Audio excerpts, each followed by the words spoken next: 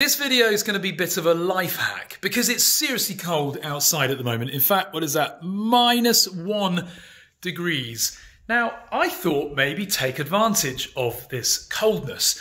You know, when you're having a nice glass of whiskey or rum or something in the evening and you want nice chunky ice cubes, not those rubbish little ice cubes that you normally have. Well, take a look at those.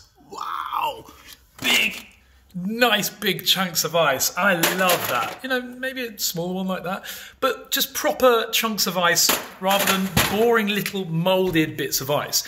And it's so easy. All you do is get an oven tray. You know, like a one of those metal oven trays that you cook stuff in in the oven. Fill it with water and then just stick it outside, put a lid on it, and you can see there I've actually just put a weight on it to keep it from blowing away. And then just leave it. And basically, yeah, this is, I've only just literally put this out there.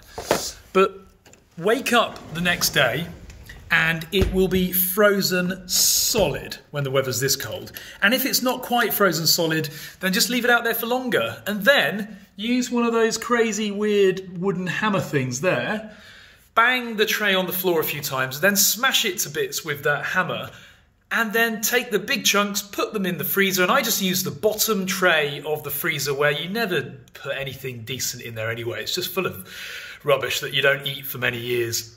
So just fill that up with ice and just leave it there. And then whenever you want a nice cold drink and you want some big chunky bits of ice, you've got it on hand.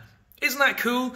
It is seriously cold here at the moment, but We've got blue skies and the sun is out, so I can't really complain. Anyway, I hope this random life hack video is useful. Comment below and get yourself some big chunky ice. Cheers, guys.